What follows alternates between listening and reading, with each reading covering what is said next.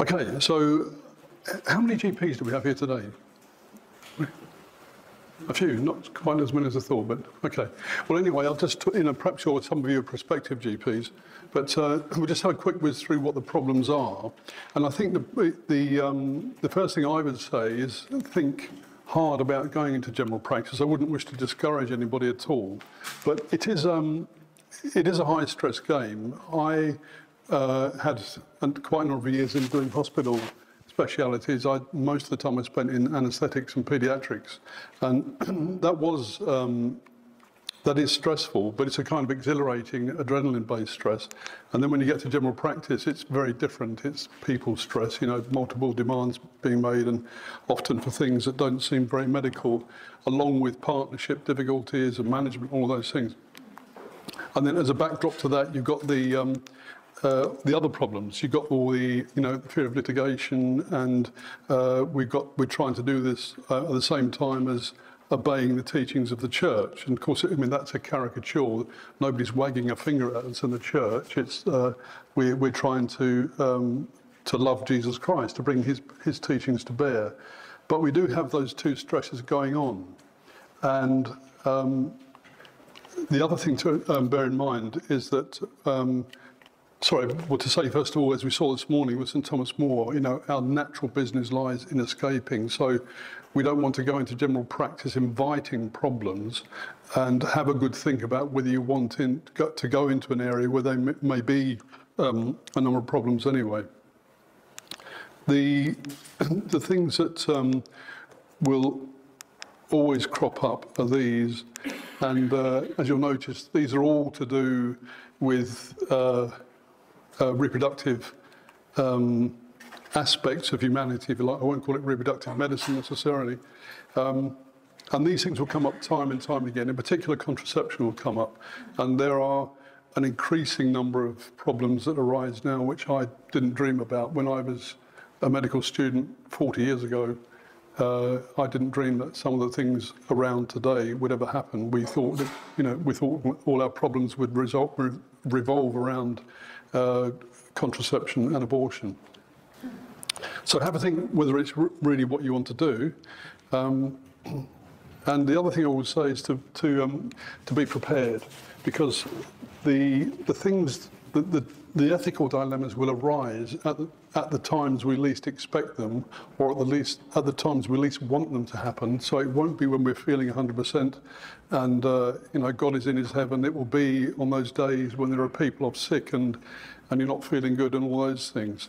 And I just draw this comparison with flying. You can't really compare medicine with flying because uh, medicine is, um, I mean, flying is pure physics, but um, medicine is more unpredictable in a way. But if we, if as pilots, we'd have to go to a simulator every six months, and the same emergencies would be thrown at us time and time again.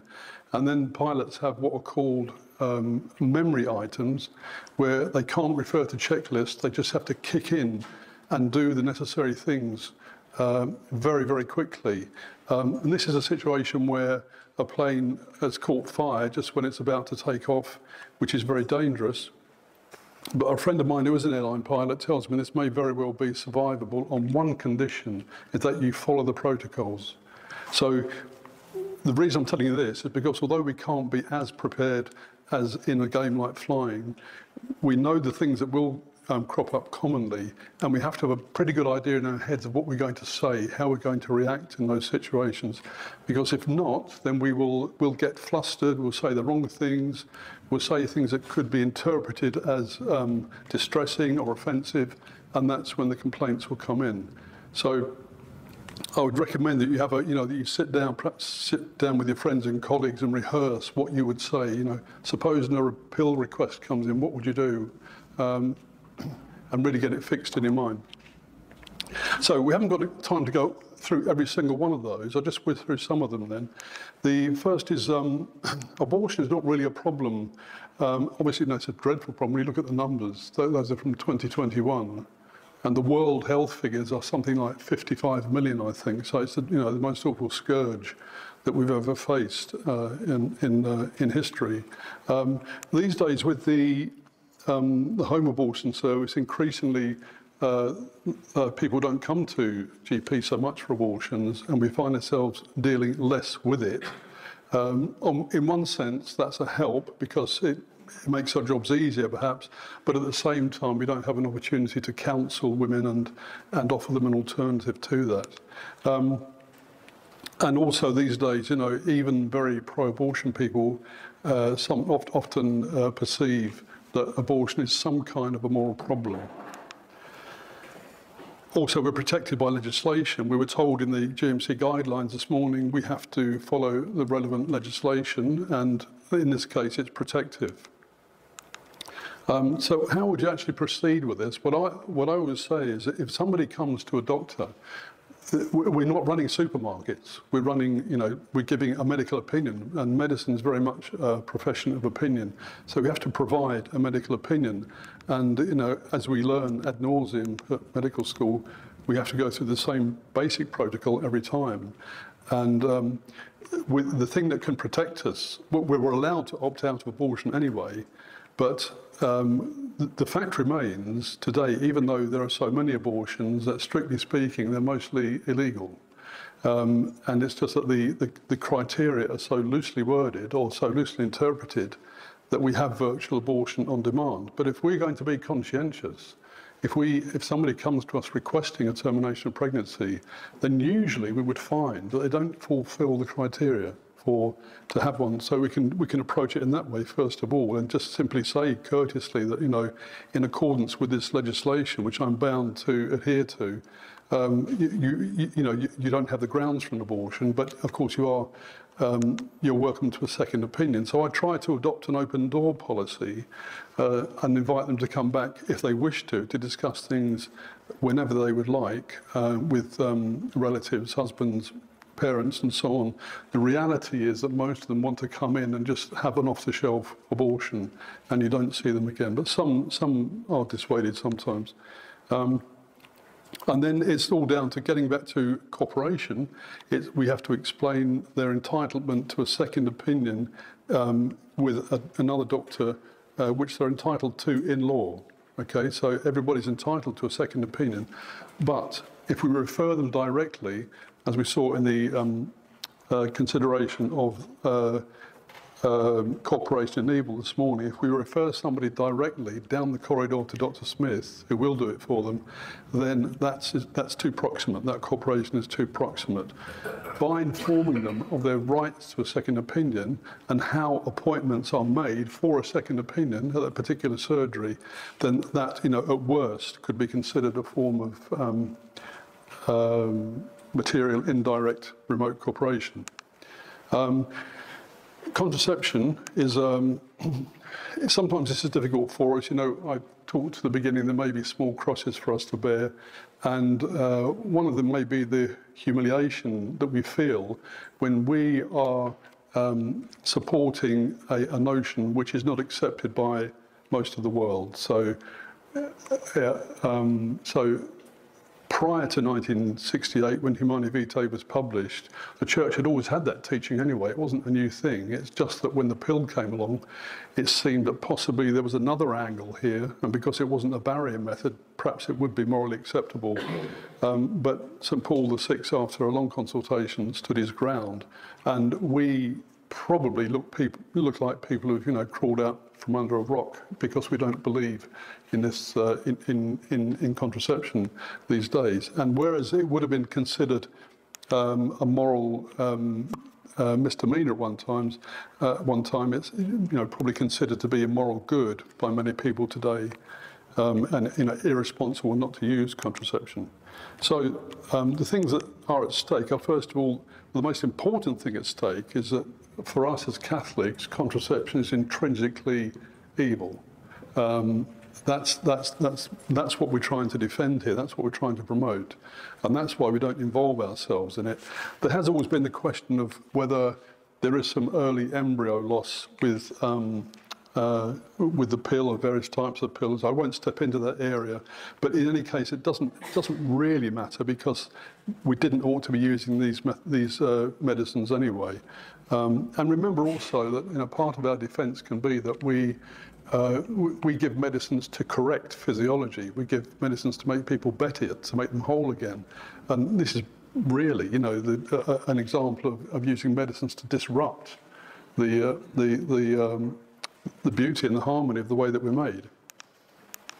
Um, but again, it's, you know, how do we um, uh, proceed? Well, we talked about letting patients know in advance. So a notice on the reception desk.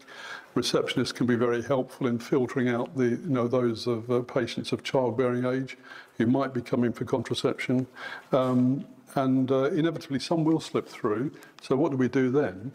Well, once again, you know, it's a medical problem. I'm, I'm only trained as a doctor. That's all I can do is give a medical opinion.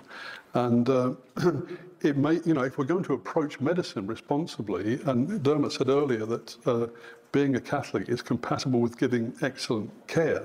Well, if we're going to give good, holistic care, the first thing we need to do is establish whether this woman is actually eligible to go onto the pill uh, in terms of her general health, because you know, as we know, there are many contraindications. So, is she a smoker? Um, is there a, a, family history of uh, thromboembolic disease? Um, is there hypertension and those things? And you know, it may help her to understand that it's not very good for her by explaining that there are these contraindications. She may have a rethink about the idea of the pill. Um, but once again, we have to very carefully explain our conscientious objection, um, the entitlement to a second opinion, but without referring. Um, so, how long have we got? So, right, so the next thing would be sterilisation. That's probably pretty straightforward. Okay, um, infertility investigation and treatment.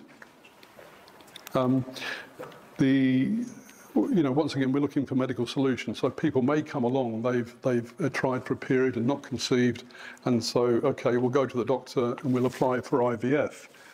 Um, but uh, again, we have to give medical opinions. So, and the first thing to do, once again, if we're going to be good all-round doctors is we don't just pack them off to an infertility clinic. We have to find out those things that we can from a general medical point of view. So we can, from the history and uh, doing a few basic tests, we can find out is there something else underlying that's leading to the infertility. And it, possibly we could correct that. I mean, if somebody was, somebody was, for example, severely hypothyroid, perhaps if we corrected that, fertility would uh, restore itself anyway. Um,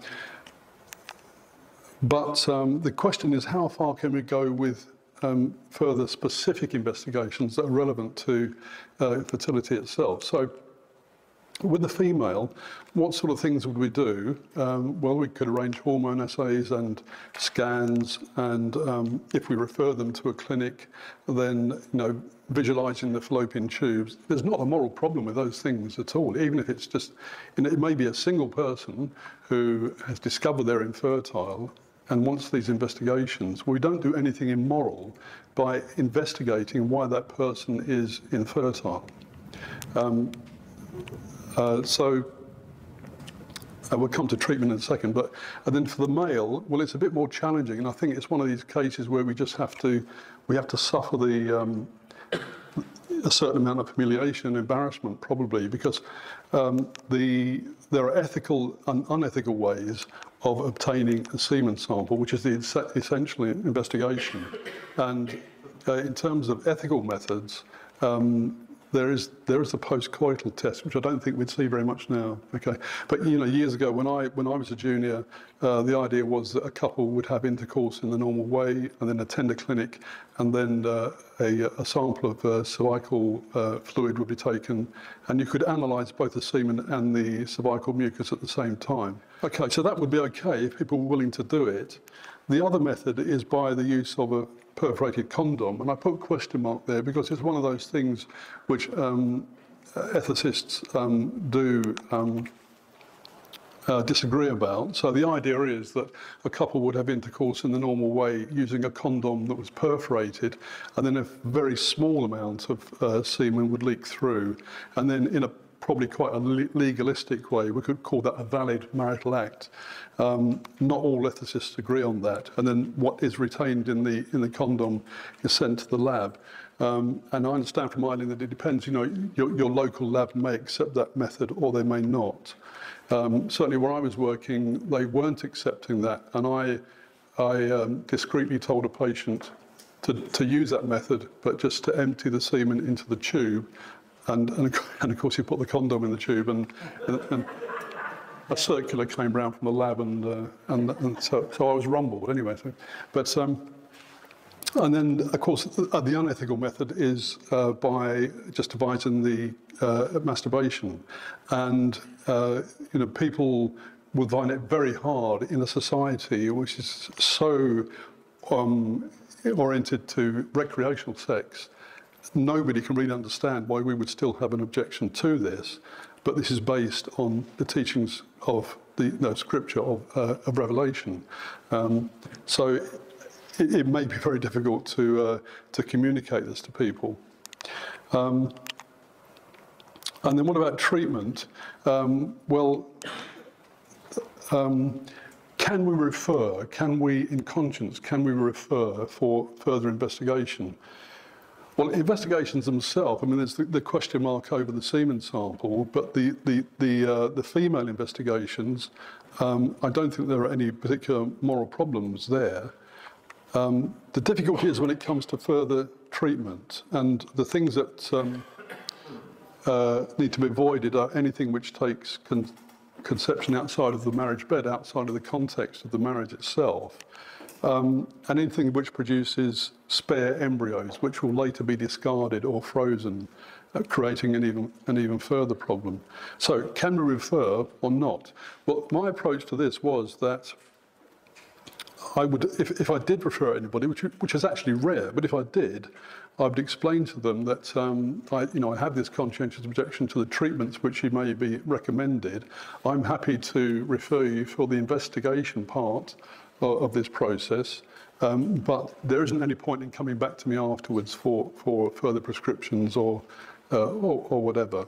Um, so that was my approach to that. And um, uh, and then the the other thing that can be a problem is um, these days is uh, treatment for sexual dysfunction. So we're talking about you know effectively erectile dysfunction, and it's a very good thing. These treatments haven't been around for that long, um, and um, if we can restore normal fu normal functioning in a marriage, then it's a very good thing for us to do because remember that it's you know the fact that uh, couples are able to have sex is what makes it a marriage. It's very fundamental to the marriage.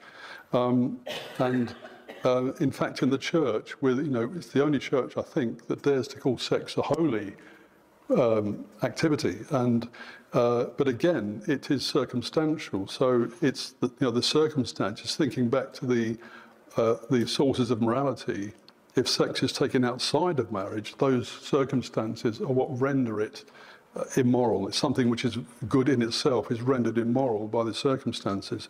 So can we treat this?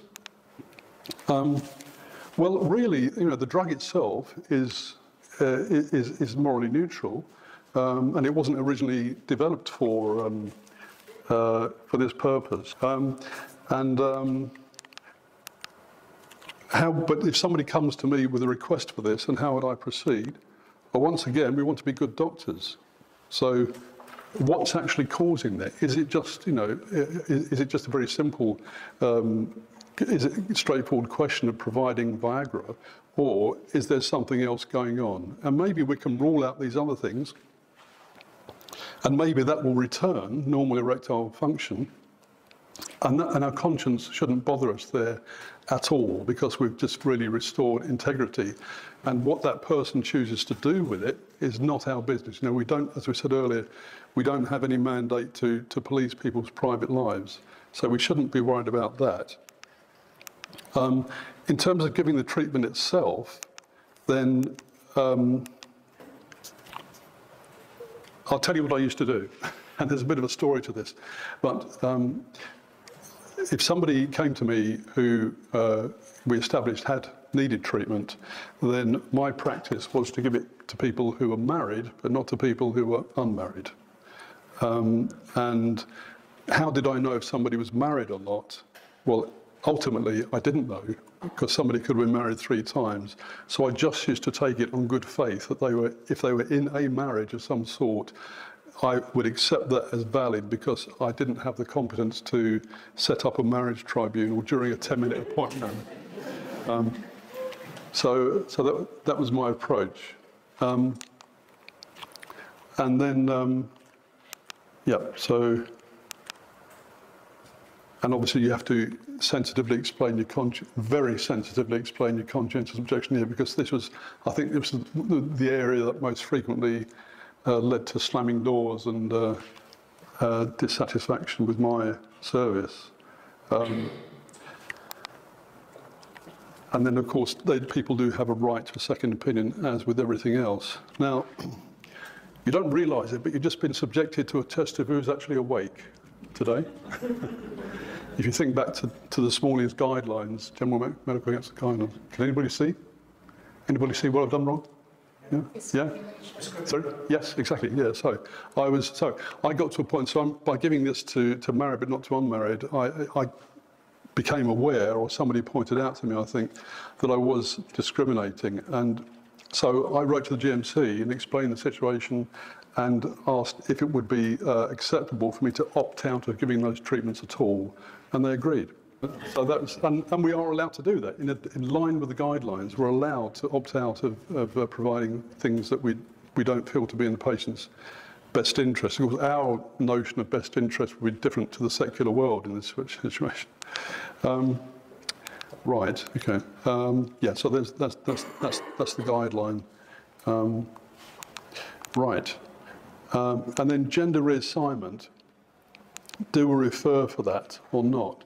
Um, I, I didn't actually encounter this very much, but a couple of times I did refer somebody to a gender reassignment clinic. And my thinking there was that if, if, if, if somebody is um, seeking gender reassignment, then the, the first stage of it is a, is a psychological assessment.